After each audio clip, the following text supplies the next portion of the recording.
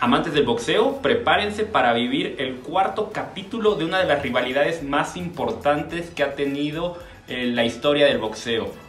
Marco Antonio Barrera y Eric el Terrible Morales caminan para un cuarto combate. En esta ocasión de exhibición, aunque como bien dejó claro Marco Antonio Barrera en entrevista con Gerardo Velázquez de León, no será de todo amistoso.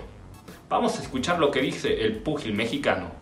Fíjate que sí, me marcó el, terrible Morales, hizo un eh, FaceTime, en el cual pues primeramente empezó con una entrevista y eso, y después ya me dijo, me invitó más bien a después de que termine esta pesadilla, porque estamos viendo este COVID-19, eh, ayudar a todos los que hayan quedado mal o que ocupen alguna ayuda después de, esta pandemia, pues con una exhibición, una exhibición de box entre él y yo, y sí le dije, mira, Eric, estamos de acuerdo que, ir a hacer una exhibición y hacer un show, pues yo no me prestaría, realmente no estaría de acuerdo.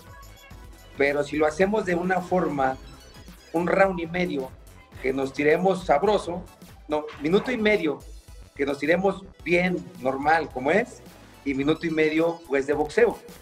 Y pues le encantó la idea, yo hasta dije, no, pues, no, no está, no está mal, es más, hasta poder invitar al travieso Arce contra Fernando el Cochur Montiel, podría ser, son combinaciones que la gente, pues, quiere ver más arriba de un cuadrilátero.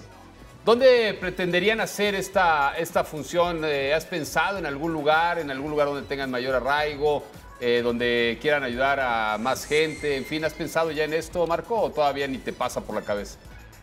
No, todavía no me pasa por la cabeza porque primeramente lo aventó así al aire el terrible Morales. Vamos a ver si sí en realidad se hace.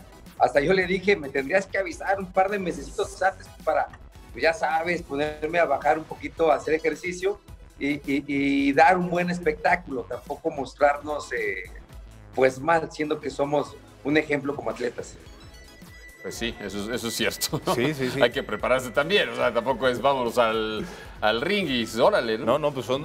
Pues ahí están las palabras de Marco Antonio Barrera, que, que hay que recordar, venció en dos ocasiones a Eric Terrible Morales en una de las rivalidades de verdad más importantes que ha tenido el boxeo. Estos dos boxeadores, estos dos pugilistas mexicanos tenían un odio no solamente deportivo, sino también se fue abajo del ring y ahora por una buena causa, como lo ha dicho Marco Antonio Barrera, para apoyar a la gente que, que está convaleciente por el COVID-19, podrían enfrentarse en una pelea en la cual un minuto y medio de cada round se van a estar intercambiando golpes como lo hicieron en sus mejores años.